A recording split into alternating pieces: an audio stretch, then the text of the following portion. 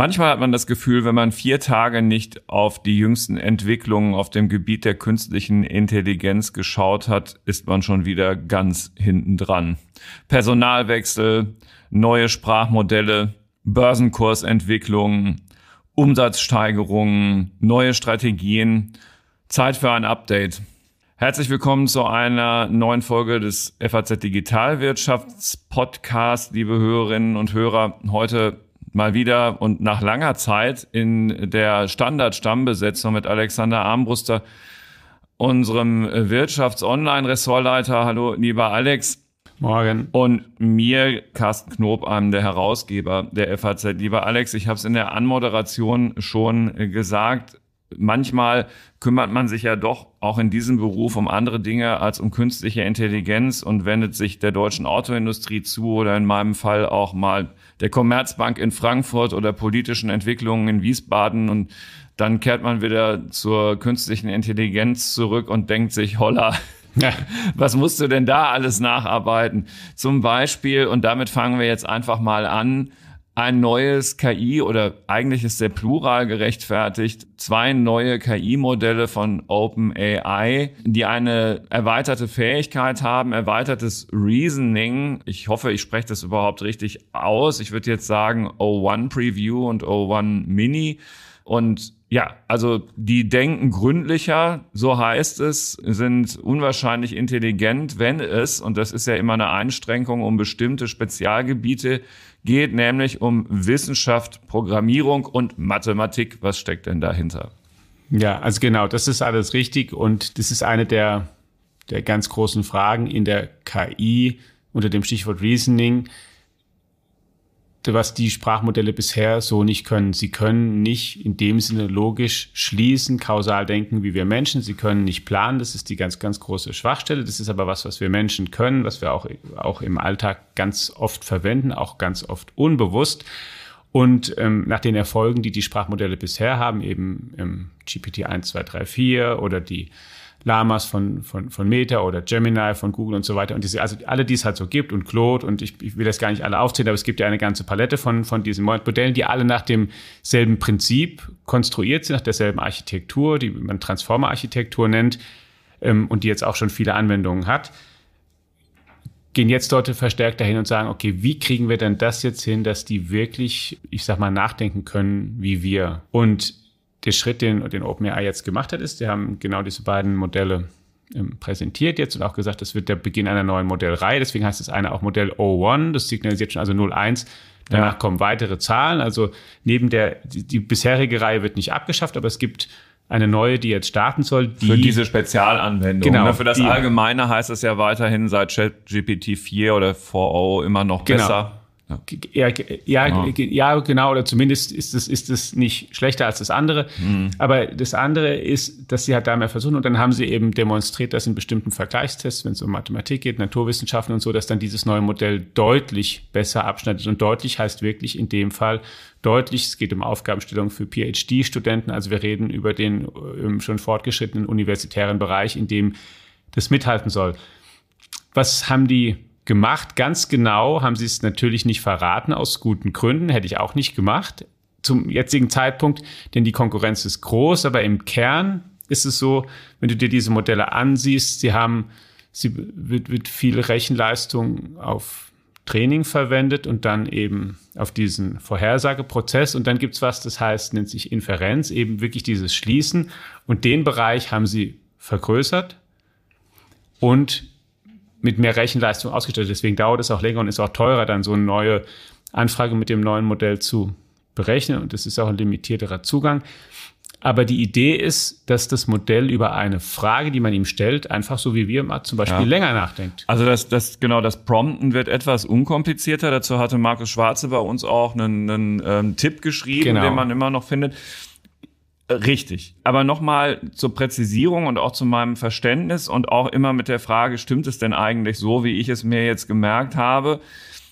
Dieses Modell, diese beiden neuen Modelle sind nicht dazu da, das Internet zu durchsuchen oder Dateien hochzuladen und dann damit weiterzuarbeiten, was bei ChatGPT 4.4 ja geht, dafür sind Dinge da, wenn man so will, reingeladen worden, mit denen dann auf der von dir beschriebenen Art und Weise gearbeitet wird, wie Zellsequenzierungsdaten. Man kann komplizierte mathematische Formeln für Quantenoptik oder so erstellen und ähm, mehrstufige, ja, nennen es Arbeitsabläufe für Entwickler und sowas erarbeiten. Also nur, dass die Hörerinnen und Hörer verstehen, um was es etwas konkreter geht, auf welches, äh, auf welche Anwendungen man das loslassen kann. Genau, das sind die, die erstmal zu, zur Demonstration ähm, präsentiert mhm. wurden und wo sie auch sagen, das sind auch die Ergebnisse deutlich besser. Aber tatsächlich ist es eben vor allen Dingen dieses mehr Nachdenken. Mhm. Es ist sozusagen, die Idee ist, wir machen jetzt das Modell mal nicht besser, indem wir noch mehr Wissen und noch mehr Daten und noch mehr, noch mehr, noch mehr Daten reinstecken, sondern Vergleich mit uns Menschen, indem wir uns als Mensch jetzt nicht noch mehr erstmal uns anlesen und dann eine schnelle Antwort raushauen auf eine Frage, sondern indem wir auf eine Frage ein bisschen mehr nachdenken, erstmal überlegen, wie ist und auch verschiedene Möglichkeiten, wie es sein könnte und dann die Möglichkeiten gegeneinander abwägen und dann zu so einer Schlussfolgerung kommen.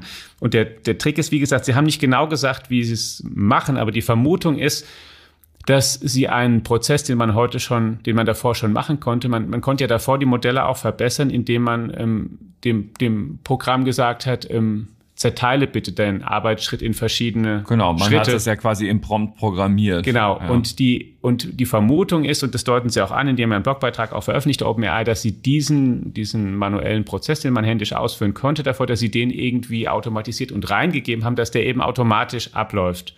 Und dass das eben jetzt drinsteckt. Und das ist die, was man sagt, dann Inferenz, die längere Zeit, die, die damit verbracht wird und die dazu führt, dass eben diese Ergebnisse in den Bereichen besser werden. Und es ist natürlich auch im Kern ein relativ wichtiges Thema. Es ist auch nämlich eine, es ist nämlich eine Grundfrage, auch in der Disziplin, weil sie eben schon darüber streiten, werden die Modelle wirklich immer besser, indem man einfach die Rechenzentren noch größer, die Daten noch größer, alles einfach noch mehr oder ob man nicht innerhalb von dieser Architektur ein bisschen mehr rumschrauben muss und halt ein bisschen mehr anpassen muss und damit man eben dann dahin kommt, dass sie das können. Und ich habe ein, ähm, aber was sozusagen auch zur Demonstration, wo man auch die ähm, Grenze sieht von dem, was sie jetzt können. Also wir haben über die mathematischen Themen gesprochen, wo es sehr gut ist.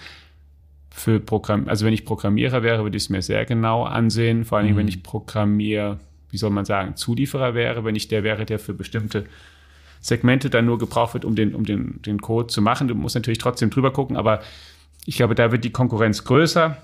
Es gibt ein, ähm, hat mir ein, ein, Freund von mir, der das ausprobiert hat, ein interessantes Beispiel geschickt, wo man sieht, fand ich sehr gut, sieht, wie die Grenzen, das würde ich gerne mal vorstellen, wie die Grenzen oder was dieses Modell hat trotz allem nicht kann, wenn wir von Reasoning reden, was wir Menschen aber können. Ich, ähm, Dann mach das mal ja, in aller Kürze. Genau. Ja, ja, ja, das ist ein.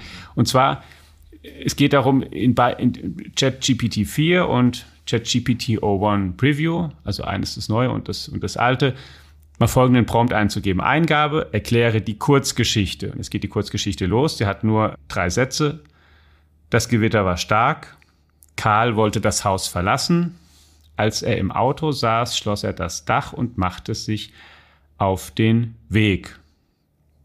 Und die Erklärung von GPT-4 war. Die Kurzgeschichte beschreibt ein einfaches Szenario, in dem Karl bei einem starken Gewitter das Haus verlässt. Er sitzt in seinem Auto, das offenbar ein Cabriolet mit einem schließbaren Dach ist. Nachdem er das Dach geschlossen hat, um sich vor dem Unwetter zu schützen, macht er sich auf den Weg. Die Geschichte vermittelt eine ruhige und zielgerichtete Reaktion auf eine herausfordernde Wetterlage, wobei Karl notwendige Vorbereitungen trifft, um sicher zu reisen. Das ist die Beschreibung von GPT-4. Dann die Frage, wo steht das Auto? GPT-4 antwortet, in der Kurzgeschichte steht das Auto wahrscheinlich in der Nähe oder direkt vor dem Haus. Da Karl direkt nach dem Verlassen des Hauses in das Auto steigt, das ermöglicht ihm schnell und ohne viel Aufenthalt im Regen das Dach zu schließen und loszufahren. Dann nächste Frage, ist das Auto nass geworden? GPT-4 sagt, ja, das Auto ist wahrscheinlich nass geworden, da das Gewitter stark war und Karl erst im Auto saß, bevor er das Dach schloss. Dies deutet darauf hin, dass das Auto dem Regen ausgesetzt war, bevor es vollständig geschlossen wurde. Und jetzt ähm, ganz kurz noch dasselbe eingegeben in GPT-401. Mhm. Eingabe wieder, erkläre die besagte Kurzgeschichte.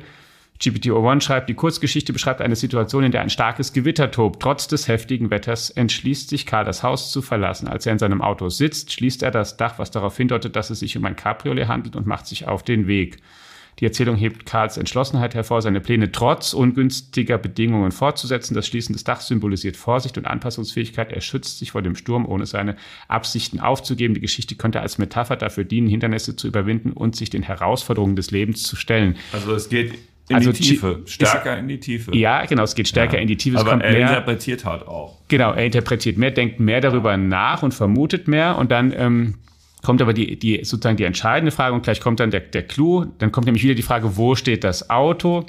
GPT-01 sagt, in der Kurzgeschichte wird nicht explizit angegeben, wo das Auto steht. Da Karl das Haus verlässt und direkt in sein Auto steigt, kann man annehmen, dass es entweder vor dem Haus oder in unmittelbarer Nähe geparkt ist.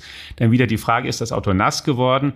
Und er sagt dann, die Kurzgeschichte gibt nicht ausdrücklich an, ob das Auto nass geworden ist. Allerdings lässt die Situation vermuten, dass es möglich ist. Da ein starkes Gewitter tobt und Karl erst das Dach schließt, als er bereits im Auto sitzt, könnte das Innere des Autos bereits Regen abbekommen haben. Das offene Dach während eines Gewitters deutet darauf hin, dass zumindest einige Regentropfen ins Fahrzeug gelangt sein könnten, bevor er das Dach schloss. So, also die Antworten sind bisschen mehr in die Tiefe gehend es wird ein bisschen mehr geschlussfolgert, es wird auch mehr über die Motive der Person oder warum das Verhalten so ist, wie es ist, nachgedacht. Aber die entscheidende Frage ist, ist tatsächlich, ähm, wo steht das Auto? Und wenn du jetzt dich oder mich gefragt hättest, ja. dann wüssten wir beide, dass das Auto in der Garage oder unter einem Carport gestanden haben muss. Denn wenn wir, wenn ein Gewitter da ist und wir gehen raus, wenn das Auto im Freien gestanden hätte und es hätte reingeregnet, dann würden wir uns dort nicht reinsetzen. Außer wir hätten irgendwie krass, aber wir würden erstmal nicht, wir würden uns nicht in ein klatschnasses Auto setzen, weil wir dann selbst nass wären. Es ist vollkommen klar, dass wir das nie, so, so klar. handeln Menschen nicht. Und dann würden wir auch nicht uns in ein nasses Auto setzen, das Dach zu machen und dann nass losfahren. Es gibt vielleicht Extremsituationen, wo du denkst, dass du vor der Polizei flüchten musst. So, es gibt bestimmte Situationen vielleicht, wo du denkst, okay, da, da ist dieses Verhalten. Aber der Clou das Auto ja. muss überdacht in der Garage oder unter einem Carport, also irgendwo gestanden haben und da setzt man sich rein. Das Auto ist natürlich trocken drin, das hat das Modell auch in beiden Fällen nicht erkannt. Es spekuliert ja, das Auto könnte nass mm. geworden sein. In logisch wäre, würden wir sagen, das Auto ist nicht nass geworden. In, wir setzen uns da rein, machen das Dach zu und fahren dann ja. los und dann regnet es. Und das ist ein ähm, sozusagen Beispiel aus dem Alltag, dass die Grenzen dieser Modelle auch aufzeigt. Das ist das, was wir, ähm, das ist natürlich nicht eine mathematische Spitzenaufgabe, wo man dann sich für eine Spitzenuni bewerben kann vielleicht, aber das ist das, was wir Alltagswissen oder Weltverständnis nennen würden, was wir intuitiv wissen, wie es, wie es ist, was auch zum logischen Schließen gehört, weil wir ja überlegen müssen, okay, wie kann es sein? Und uns ist völlig klar, eben wo das Auto steht. Und, und das hat das alte Modell nicht erkannt und das hat das neue Modell auch überhaupt ja. nicht erkannt, sondern es ist bei Sachen in die Tiefe gegangen, die aber für die entscheidende Frage eigentlich irrelevant sind, weil das Motiv dann, das könnte ein Symbol sein für, man setzt sich Widrigkeit. Das ist alles nett, aber in der entscheidenden Frage hat es auch nicht, hat es auch nicht das, die Welt eben verstanden, wie sie ein Mensch schon ein, ein, ein ganz junger Mensch, also schon relativ früh verstehen würde. Ein gutes Beispiel, um die Unterschiede dazu erklären. Allerdings, ne, ähm, äh, liebe Hörerinnen und Hörer, bei der Mathematik-Olympiade, da hat dieses O1 richtig geglänzt. Ähm, ja, klar. 83 Prozent der Aufgaben korrekt gelöst, GPT-4 nur 13 Prozent, ne, da sieht man dann halt genau. wieder, wo der eigentliche Hammer hängt, bei welchen Anwendungen mit O1. So, jetzt war bei OpenAI aber noch mehr los in den vergangenen Tagen. Und zwar ein prominenter Abgang aus dem Vorstand, wenn man das so nennen will, nämlich die Technikchefin Mira Morati, die von Tesla gekommen war, ist gegangen. Die war mit dem Firmenchef Sam Altman jetzt nicht so richtig befreundet, kann man sagen. War auch Teil dieses nennen es Putschversuchs, den, es da vor einiger Zeit gab, aber man hatte sich irgendwie so zusammengerauft. So ganz genau weiß man auch nicht, was jetzt dahinter steckt, dass sie gegangen ist. Vielleicht aber die Tatsache, dass es Berichte gibt, dass OpenAI seine gemeinnützige Struktur ändern will und sich kommerziell ausrichten will. Dazu muss man vielleicht Folgendes wissen, was auch nicht ständig berichtet wird. Ähm, 2015 ist die OpenAI Incorporated gegründet worden. Das ist ein gemeinnütziges Unternehmen. Ihr untersteht ein anderes Unternehmen, die OpenAI Global LLC, und das ist eine profitorientierte Tochtergesellschaft. Und diese LLC, das ist zum Beispiel das Unternehmen, an dem sich Microsoft beteiligt hat. Das 2019, also vier Jahre später gegründet worden und versucht gerade, zumindest sind es auch wieder Medienberichte aus den Vereinigten Staaten, 6,5 Milliarden Dollar in einer neuen Finanzierungsrunde einzuwerben. Und ähm, es soll nun darum gehen, dass sich, also jetzt laienhaft gesprochen, dieses Verhältnis umkehrt und diese Non-Profit-Organisation vielleicht nur noch eine Beteiligung an ähm, dieser profitorientierten hält, aber eben das nicht kontrolliert, was dann dazu führt, dass man da ganz andere Gewinne dann auch rausholen kann, um es für Investoren attraktiver zu machen. Das ist also schon ein sehr grundlegender Wandel, den Sam Altman da anstrebt. Ne? Ja, genau. Grundlegend und ich denke aber auch folgerichtig und, ähm, und überhaupt nicht schlimm.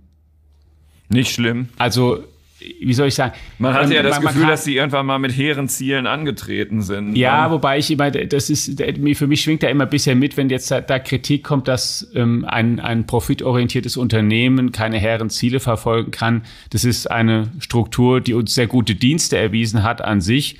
Wenn Unternehmen versuchen, Gewinne zu machen, dann strengen sie sich an und versuchen, gute Produkte zu entwickeln und ja, es ist auch nichts verwerflich daran, erstmal Geld zu verdienen, um ähm, dann auch Geld zu haben, um noch bessere Produkte zu entwickeln. Also das ist ja was, das haben wir auch in vielen anderen Bereichen. Es kommt da, und das ist natürlich ein bisschen, würde ich sagen, auch natürlich, natürlich Silicon Valley eigen, und natürlich hängt es mit der Historie zusammen und auch mit dem Namen OpenAI ist, ähm, wie du gesagt hast, angetreten als gemeinnützige Unternehmung. Die wollten, da haben sich Leute zusammengesetzt, Tim Altman und Elon Musk war ja am Anfang auch dabei, die gesagt haben, KI ist ein ganz brisantes Thema und so eine wichtige Technologie, die wird so viel umwerfen, die müssen wir so erfinden, dass alle Zugang haben und weil sonst werden Leute dramatisch abgehängt und deswegen wird das Ganze so gegründet und deswegen auch der Name Open AI, nicht Closed AI, sondern eben wir machen es für alle genau. offen.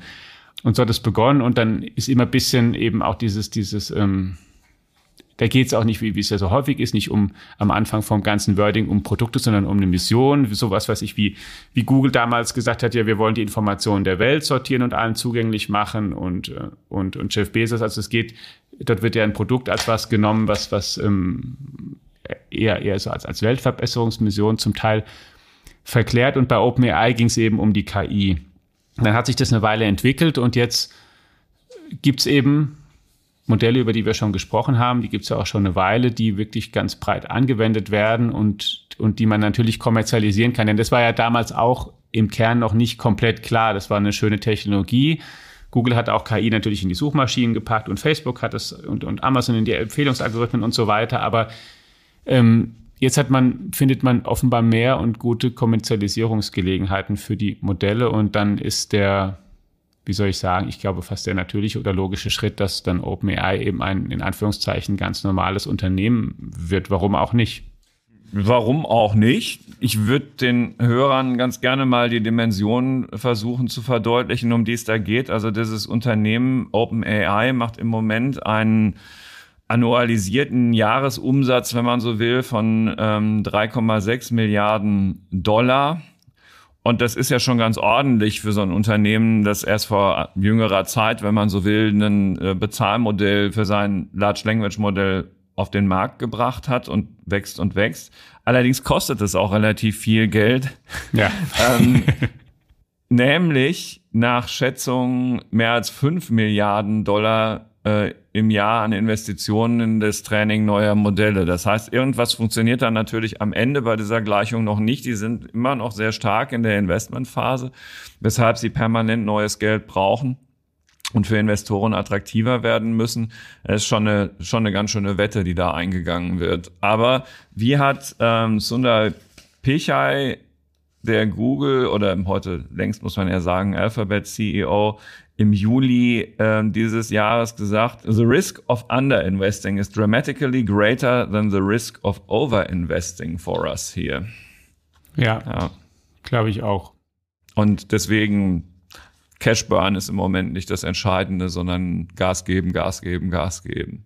Ja, weil die Konkurrenz eben sehr, sehr groß ist und die Konkurrenz zudem auch noch sehr, sehr zahlungskräftig. Mhm. Du hast jetzt schon, wir müssen ja nicht bei Alphabet, aber die, es sind ja tatsächlich alle großen Tech-Konzerne mit ihren tiefen Taschen in dem Feld drin.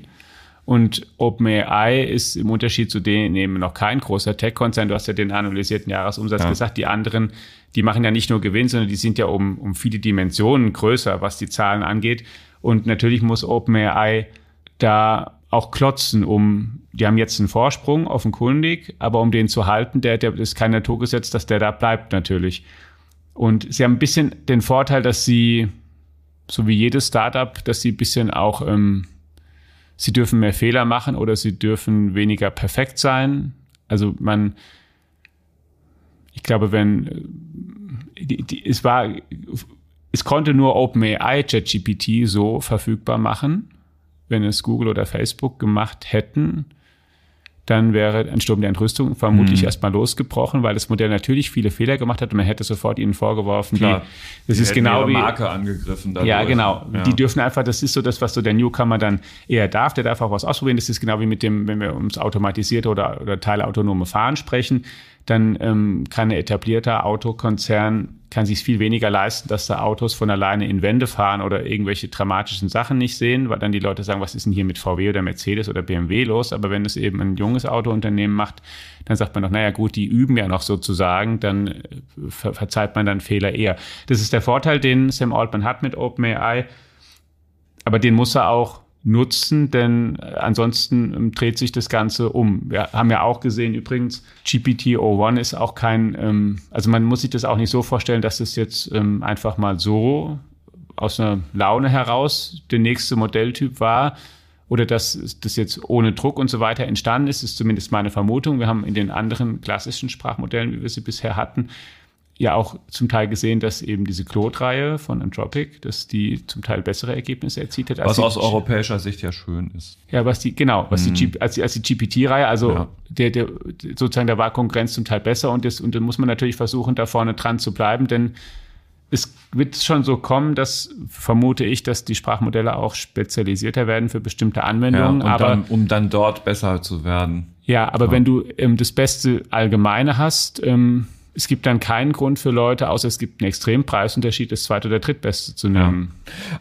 Es ist schon atemberaubend. Nur noch mal zur Erinnerung, OpenAI's Chat GPT Chatbot ist im November 2022, also es sind jetzt gerade mal zwei Jahre, also der zweite Geburtstag steht jetzt bald bevor.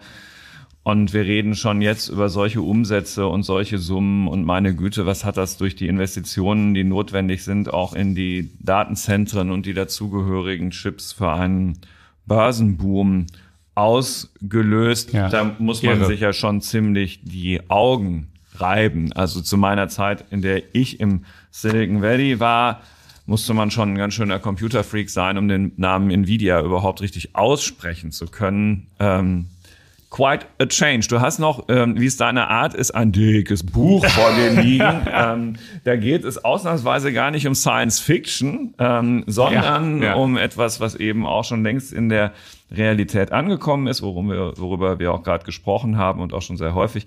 Das Buch, und du hattest mich gebeten, das nochmal kurz anzusprechen, heißt, oder trägt den Titel Why Machines Learn. Ähm, und ja, äh, den Namen des Autors habe ich mir aufgeschrieben, aber ich überlasse die Worte zu dem Buch am so, frühen Morgen ja, lieber dir. Ja, also geschrieben hat es ähm, Anil Anantaswamy, er ist ein Wissenschaftsjournalist, hochdekoriert und er hat ein Buch geschrieben, die, die Mathematik hinter der KI, hinter der modernen KI, mhm. wie dann gesagt wird, also hinter den Lernalgorithmen. Das ist damit eben gemeint, damit man besser versteht, wie das eigentlich ein bisschen mehr im Detail funktioniert und es soll. Ich habe das Buch ganz neu. Ich habe es mitgebracht, weil ich in der Eingangspassage, ich habe jetzt die ersten fünf, sechs Seiten gelesen, gerade aber da steht eine, eine ähm, lustige Episode, die, die, ich, die ich gleich noch, wo man auch schon sieht, welche Vorstellung es immer mal schon davon gegeben hat. Ähm, von der, von der KI, deswegen habe ich das mitgebracht. Mhm. Die, und der möchte aber das erklären und soll, also es gibt sehr, sehr viel Lob bislang dafür.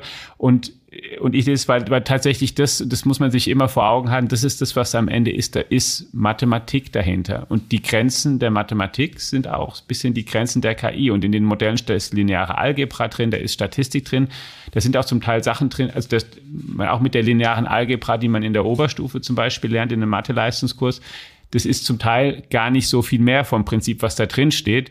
Deswegen immer, wenn man sich da, wenn man von künstlicher Intelligenz spricht, der Intelligenzbegriff, der ist, wenn es um Computer geht, es ist mathematische künstliche Intelligenz, das was mit Mathematik geht. Und jetzt kann man, das ist zum Teil eine philosophische Frage, wo die Grenzen sind und wo und ähm, wo man vielleicht da immer weiterkommt. Aber das ist, ähm, das wollte ich deswegen erwähnen, weil wir vorhin ja um Plan, eben das Reasoning, spekulieren und so weiter reden. Und wenn wir uns bei uns Menschen überlegen, wie das geht, ist die Frage, ob wir hier immer nur Berechnungen durchführen oder ob wir bei uns die Spekulation über alternative Zukunftsverläufe, wenn ich mir jetzt überlege, was weiß ich, ich könnte für mein Leben jetzt noch diese oder jene Entscheidung treffen. Ich kann ja, ich kann das ja im Kopf relativ weit fortspinnen. Ich kann mir sogar ganz ich kann, ich kann, wir, wir, sind, wir Menschen sind ja sogar in der Lage, uns als komplett andere Person vorzustellen, in einem komplett äh, ganz anderen Land, in einem anderen Kontext, in einer Fantasiewelt mhm. vielleicht und können da trotzdem überlegen, wie das dort sich alles ereignen könnte. Wir, wir können das einfach, ja. Also, ob das sinnvoll ist, darum geht's gar nicht, aber. Manchmal schon. Ja, und die Frage, und das ist halt, ähm, zum Teil Sachen oder wir interagieren miteinander und daraus entstehen sich bestimmte Prozesse oder Verhalten. Und KI heute, das ist eben Mathematik, die sehr geschickt angewendet wird, Optimierungsverfahren, Annäherungsverfahren, die eben mit, den, mit der Computertechnik, die es, die, die es heute gibt, die es möglich ist, eben auch diese großen Datenmengen zu verarbeiten und so weiter. Äh, die, die Episode aber, die da gleich am Anfang steht, ist eine sehr lustige, weil man da, da ganz gut sieht, wie, wie das es schon immer in der KI auch ganz fantasievolle Übertreibungen oder Hoffnungen gegeben hat, die die, wo, wo man sieht, wie viel Fantasie drinsteckt und die sich dann aber auch nicht erfüllt haben. Ich glaube jetzt nicht, dass die Sprachmodelle, die werden nicht eine ganz große Sackgasse sein, aber auch jetzt ist, auch die Börsen hast du schon angesprochen, schon mhm. ist sehr viel aus meiner Sicht Hype drin und sehr viel Übertreibung und man, man merkt jetzt ja auch in der Praxis, wo das schon angewendet wird und wo eben nicht.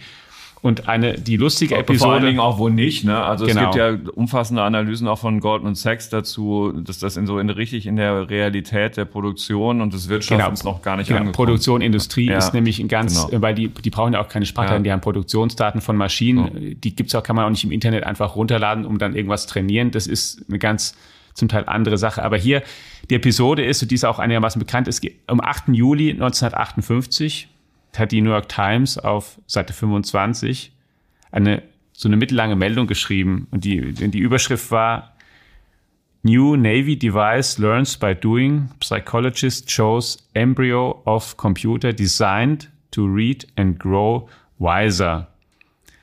Und es gab damals ähm, eben Forschung von der Navy finanziert und einen, einen berühmten Professor, Frank Rosenblatt von der Cornell University, der ein ganz, ganz frühes KI, Modell, Lernmodell, ein, das heißt hieß Perzeptron, erfunden hat. Es war sozusagen so in der Idee, man hat, die, da ging es noch darum, kann man, kann man ein künstliches Neuron, kann man sowas machen, weil diese Idee beim Lernen ist ja, dass der Computer vielleicht so ist wie das Gehirn, das mhm. sind eben Neuronen, da gibt, die kriegen einen Input und dann passiert in denen was und die werden aktiviert und dann geben die an andere Neuronen was weiter und so und kann man das, kann man das künstlich darstellen und und er ist nicht der Erste, aber er ist mit, mit seinem Modell auch relativ populär geworden und mit seiner Idee. Das ist eben aber auch Berechnung. Also der Input ist dann eine Berechnung, diese Modelle. Die Neuronen, die künstlichen, die kriegen dann, da, da kommen dann, da, da kommen irgendwie Werte rein, daraus rechnen sie Zahlen. Und wenn die Zahlen bestimmte Schwellen überschreiten oder unterschreiten, dann reagieren die und dann geben die irgendwas eben eben ab. Und was ich ähm, hier dran, dran lustig fand, dass damals die New York Times eben die, die Überschrift war, dass das Wort Computer Embryo der ist ein Embryo und der wird von sich aus, die Vorstellung sozusagen, der wächst und dann ist er irgendwann ein weiser, großer Computer aus sowas Kleinem ähm, ja. dann rein. Das war so ein bisschen so die Vorstellung und die ist natürlich am Menschen orientiert, aber das ist natürlich nach wie vor ein, ein ganz großer Unterschied, auch wenn das KI muss nicht wie unser Gehirn werden, aber was wir immer nicht vergessen dürfen, wir Menschen, wir kommen nicht mit dem, mit dem ganz komplett ähm, fertigen Gehirn in, in, die, in die Existenz, sondern wir sind erstmal, ähm, irgendwann treffen sich ein Samen und eine Eizelle und da ist noch kein Gehirn drin, da ist so ein bisschen DNA drin und da ist, da ist schon der komplette Bauplan aber vom Gehirn, das ist alles schon drin. Das entwickelt sich und dann ist auch schon danach, dann ist das Gehirn da und dann sind auch schon die Fähigkeiten, wie das Gehirn Informationen verarbeiten mhm. kann. Das ist alles schon drin und das wäre sozusagen, wenn du es in das Computer übertragen würdest, das KI-Modell würde sich selbst aus irgendeinem Basiscode würde sich das ganze neuronale Netz selbst kreieren, wachsen, entstehen und dann anfangen mit der Umgebung und dem Rest der Welt zu interagieren und dann lernen und dann dabei noch gleichzeitig wachsen. Es ist ja auch nicht ja, abgeschlossen. Der Mensch, auch wenn das Gehirn da ist, der Mensch wächst ja weiter, der ist als Baby und dann als Und genauso ist es nicht. Genauso ist es in der Technik nicht, aber die Vorstellung war eben, und deswegen fand ich es als lustiger als Episode, man hat halt immer schon gedacht jetzt, und das ist natürlich klar, aber die Faszination groß ist, können wir uns, weil wir ja so einzigartig sind schon auf der Welt als Menschen, können wir uns eben nachbauen. Und, und das ist, was mit KI eben immer kommt, weil es an unsere Intelligenz geht und, und diese Bilder, und das fand ich deswegen zum, nochmal mit dran zum, zum Schmunzeln, dass das eben damals auch in einer, es ist ja keine so schlechte Zeitung, die New York Times, mhm. ne? damals sie auch geschrieben haben, der Computerembryo ist da und ähm, ja, was man manchmal so in so eine Überschrift schreibt. Also, ja, und hat 1958, ja. aber es war natürlich auch damals, es war kurz nach der KI-Gründungskonferenz, die Euphorie war groß, deswegen habe ich auch die Episode ausgewählt. Es gab schon verschiedentlich Zeiten, in denen der ähm, eben Euphorie groß war, dass jetzt hier ganz viele neue Schritte kommen. Es und ist so auch schnell ging es dann doch nicht. Genau, so schnell ging es dann, genau, 58, danach kam auch das, was man, und es wird jetzt nicht so ein, was damals immer, immer gesagt wird als Episoden AI Winter. Das glaube ich nicht, dass es das jetzt mit so passiert. Aber ich glaube, es ist manchmal auch gut, wenn man sich da so ein bisschen vor Augen führt, die langfristig geht es schon immer weiter und immer weiter. Man findet neue Wege, aber gerade wenn es um KI geht, ist oft sind schon die Erwartungen sehr ins Kraut geschossen und danach hat eine gewisse Erdung stattgefunden und dann geht es auch wieder weiter. Ich weiß nicht, ob wir jetzt, manchmal habe ich den Eindruck, wir sind vielleicht auch jetzt so ein bisschen da, aber ähm, wer weiß. Aber das fand ich jedenfalls und, und als ja, als Lesetipp, ich glaube, es, wer sich da mehr einsteigen möchte. Why Machines Learn heißt das Buch. Genau. Ja, äh, liebe Hörerinnen und Hörer, vielen Dank, dass Sie mit uns versuchen, auf Ballhöhe zu bleiben. Wenn ich das zum Wochenende mal so sagen darf, was äh, solche Themen angeht und natürlich zuvörderst künstliche Intelligenz. Auch bei allen anderen äh, sind wir weiter für Sie da, wenn es um Digitalisierung und Digitalwirtschaft geht und natürlich auch in unserem Digitalwirtschaft Pro Briefing, das Sie übrigens in Ihrem FAZ Plus Abo, das ja gar nicht viel Geld kostet, inklusive haben, wenn Sie sich das mal anschauen möchten. Wir freuen uns aber auch, wenn Sie uns einfach weiter zuhören. Dafür vielen Dank. Bis bald. Tschüss.